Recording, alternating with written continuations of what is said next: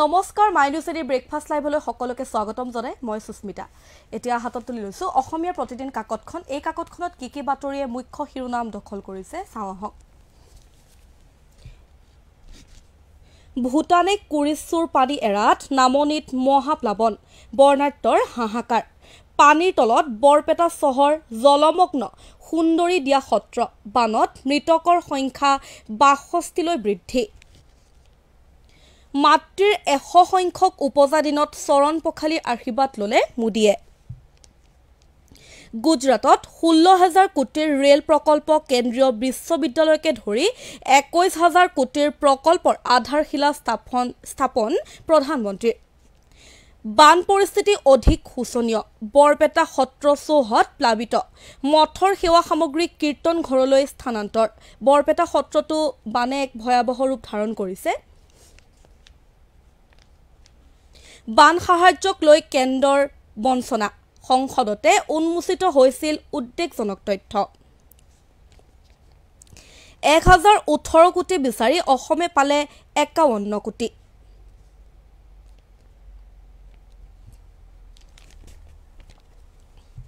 অগ্নিপথৰ বিৰুদ্ধে দেশজুৰি অব্যাহত প্ৰতিবাদ। উৰিষ্যাত যুৱকৰ আত্মহত্যা। বিহাৰ উত্তৰ প্ৰদেশ ৰাজস্থান হাৰিয়ানা বংগ পঞ্জাৱত আৰক্ষীৰে প্ৰতিবাদকাৰীৰ সংঘৰ্ষ। মুখ্যমন্ত্ৰীলৈ প্ৰধানমন্ত্ৰীৰ ফোন বুজ ল'লে ৰাজ্যৰ বান পৰিস্থিতিৰ। ৰাজ্যত হোৱা বানৰ ভয়াৱহ ৰূপক উদ্দেশ্য কৰি প্ৰধানমন্ত্ৰীয়ে মুখ্যমন্ত্ৰীয়ে মুখ্যমন্ত্ৰীলৈ ফোনযোগে খবৰ ল'লে অসমৰ। প্ৰতিৰক্ষা বিভাগৰ অন্তৰ্গত ষোল্ল ষোল্লখন প্ৰতিষ্ঠানত অগ্নিবীৰলৈ দহ শতাংশ সংৰক্ষণ। কামৰূপ কামৰূপ দৰঙৰ বান ক্ষতিগ্ৰস্ত অঞ্চল পৰিভ্ৰমণ মুখ্যমন্ত্ৰী শৰ্মাৰ। পাগলাদিয়া মৰা পাগলাদিয়া টিহু কালদিয়াৰ কালৰূপ। ভূটানৰ পৰা বৈ অহা পানীৰ ঢলত উটি আহিছে মৃত গৰু ঘোঁৰা। ভূটানৰ পৰা যি পানী এৰি দিয়া হৈছে সেই পানীত গৰু ঘোঁৰা আৰু বিভিন্ন জন্তু উটি অহা পৰিলক্ষিত হৈছে। এতিয়া মই হাতত তুলি লৈছোঁ নিয়মীয়া বাৰ্তা কাকতখন। এই কাকতখনত কি কি বাতৰিয়ে মুখ্য শিৰোনাম দখল কৰিছে চাওঁ আহক। ৰঙিয়াৰ কমলপুৰ চিপাঝাৰৰ বান পৰিস্থিতি বুজ ল'লে মুখ্যমন্ত্ৰী ডক্টৰ শৰ্মাই। ৰঙিয়া কমলপুৰ আৰু চিপাঝাৰৰ বান পৰিস্থিতিৰ বুজ ল'বলৈ গৈছে মুখ্যমন্ত্ৰী হিমন্ত বিশ্ব শৰ্মা। ভূটান সংলগ্ন আটাইকেইখন নদীৰ মাথাউৰি নিৰ্মাণ কৰিব চৰকাৰে। বেকী নৈৰ প্ৰকল্পত অনুমোদন জনালে কেন্দ্ৰীয় চৰকাৰে। বানপীড়িতক হিয়া উজাৰি সহায় কৰাৰ ৰাজ্যবাসীক আহ্বান মুখ্যমন্ত্ৰীৰ ৰাজ্যবাসীক আহ্বান জনাইছে বানপীড়িতসকলক হিয়া উজাৰি সহায় কৰিবৰ কাৰণে। পুৱা ছয় বজাতে মুখ্যমন্ত্ৰী ডক্টৰ শৰ্মালৈ ফোন প্ৰধানমন্ত্ৰীৰ। ৰাজ্যৰ বান কেন্দ্ৰৰ পৰা সকলো ধৰণৰ সহায়ৰ আশ্বাস মোদীৰ। কেন্দ্ৰৰ পৰা যিমান সহায়ৰ প্ৰয়োজন হয় সকলো সহায়ৰ ধনৰ সহায়ৰ আশ্বাস দিছে প্ৰধানমন্ত্ৰীগৰাকীয়ে মুখ্যমন্ত্ৰীক। উজনিৰ পৰা নামনিলৈ প্ৰকৃতিৰ তাণ্ডৱ লীলাত দিক বিদিক হেৰুৱাইছে লক্ষ লক্ষজনে জলপ্ৰলয়ত ৰাজ্যত ত্ৰিছজনৰ মৃত্যু। এই প্ৰলয়ত ভয়ংকৰ ভয়ংকৰ প্ৰলয়ত বান প্ৰলয়ত ৰাজ্যত ত্ৰিছজনৰ মৃত্যু হৈছে। এশ বছৰত হীৰাবেন মোদী মাতৃৰ চৰণ ধুৱাই আশীৰ্বাদ ল'লে প্ৰধানমন্ত্ৰী মোদীয়ে। এশ বছৰ সম্পূৰ্ণ কৰিলে প্ৰধানমন্ত্ৰীগৰাকীৰ মাতৃয়ে আৰু মাতৃৰ চৰণ ধুৱাই নৰেন্দ্ৰ মোদী ডাঙৰীয়াই আশীৰ্বাদ লৈছে।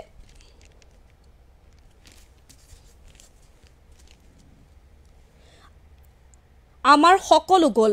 আশ্ৰয় শিবিৰত অসহায় বানাক্ৰান্তৰ আৰ্তনাদ।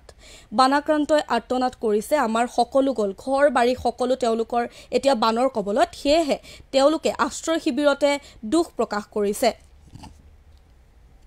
অগ্নিবীৰলৈ C A P F Assam ৰাইফলছৰ নিযুক্তিত দহ শতাংশ সংৰক্ষণ।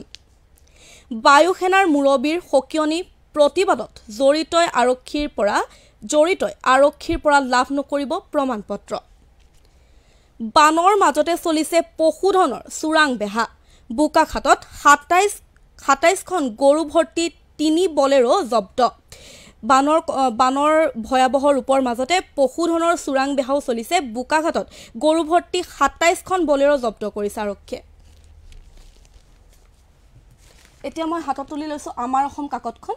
এই কাকতখনত কি কি বাতৰিয়ে মুখ্য শিৰোনাম দখল কৰিছে চাওঁ আহক। কুৰিচুৰ ঢলত নামনিত প্ৰলয়। ৰাজ্যত বান ভূমিস্খলনত আঠজনৰ মৃত্যু। হোজাইত শিশুসহ সন্ধানহীন চাৰিজন। হোজাইত শিশুসহ চাৰিজন সন্ধানহীন হৈ আছে আৰু ৰাজ্যত বান আৰু ভূমিস্খলনৰ ফলত আঠজনৰ মৃত্যু হৈছে বুলি ইয়াত উল্লেখ কৰিছে। কভিড উদ্বেগ উচ্চ ন্যায়ালয়ৰ পুনৰ মাস্ক সামাজিক দূৰত্ব বাধ্যতামূলক। কভিড পুনৰ আহিছে সেয়েহে পুনৰ মাস্ক পৰিধান কৰিব কৰিব লাগিব সকলোৱে আৰু লগতে সামাজিক দূৰত্বও বজাই ৰাখিব লাগিব সকলোৱে।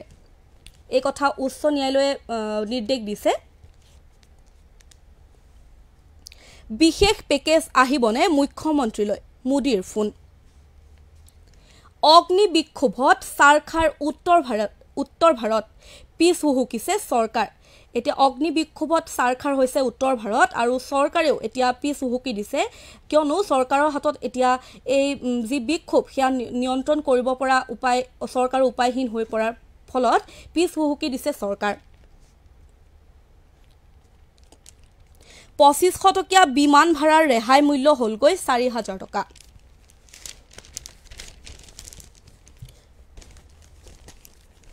প্ৰচণ্ড বৰষুণত শিলচৰত নামিব নোৱাৰিলে বিমান। বৰষুণৰ ফলত বিমান নামিব পৰা নাই শিলচৰত। বৰষুণ বাঢ়িলেই বিপদজনক পৰিস্থিতি হ'ব গুৱাহাটীত। আৰু যদি বৰষুণ বাঢ়ে তেনেহ'লে বিপদজনক পৰিস্থিতি হ'ব গুৱাহাটীত। বৰ্তমান গুৱাহাটীখন বানত আধা আধি বানত ডুব গৈছে। বহুতো অঞ্চল এতিয়া বানৰ কবলত পৰি আছে। আৰু যদি বৰষুণ হয় তেনেহ'লে বিপদজনক পৰিস্থিতিত পৰিব সমগ্ৰ গুৱাহাটী। গুৱাহাটী উন্নয়নৰ নামত চলিছে কমিশ্যন ৰাজ অখিল। গুৱাহাটী উন্নয়নৰ নামত চলিছে মাথো কমিশ্যন ৰাজ। পোন্ধৰ বছৰে গুৱাহাটী উন্নয়ন বিভাগৰ দায়িত্ব লৈ হিমন্ত বিশ্ব শৰ্মাই বৰবাদ কৰিলে গুৱাহাটীখন। এই বিস্ফোৰক অভিযোগ বিধায়ক অখিল গগৈ। অখিল গগৈ এই কথা উল্লেখ কৰিছে যে গুৱাহাটী উন্নয়নৰ নামত চলিছে এতিয়া মাথো কমিশ্যন ৰাজ। মুখ্যমন্ত্ৰী হিমন্ত বিশ্ব শৰ্মাই উন্নয়নৰ নামত একো কৰা নাই বুলি অখিল গগৈয়ে প্ৰকাশ কৰিছে। ফেচবুকত আলফাক সমৰ্থন দি গ্ৰেপ্তাৰ মৰাণৰ যুৱতী।